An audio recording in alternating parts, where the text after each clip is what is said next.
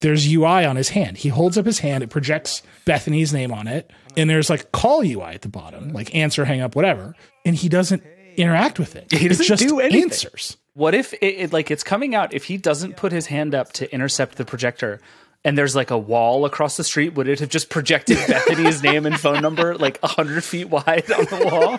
Thank you. Love you. Love you too. Bye. Bye. And then it just hangs up. And it's like, he didn't say hang up. Right. Did she hang up and it knows? Like, we've all been in that moment, right? Where the other person hangs up and you don't know if your phone hung up and like, whatever. It's like, okay, it's over. like, what?